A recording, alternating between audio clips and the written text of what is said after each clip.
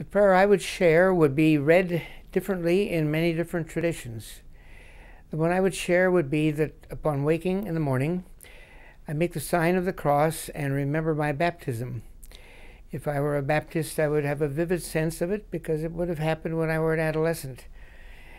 As a Catholic, a Lutheran, Episcopalian, or whatever in the Christian world, our originating point is usually as an infant. But we have to spend our life growing into that.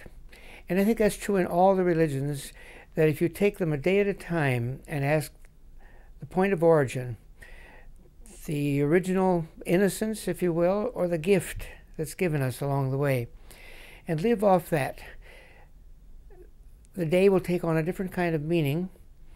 We don't have to keep praying visibly and orally all the time. You live off the energy that was put there by that first thought of the day.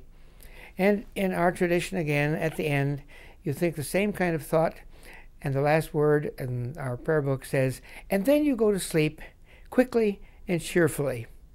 And I find it almost always works. So I can say hallelujah and amen at the end of that one.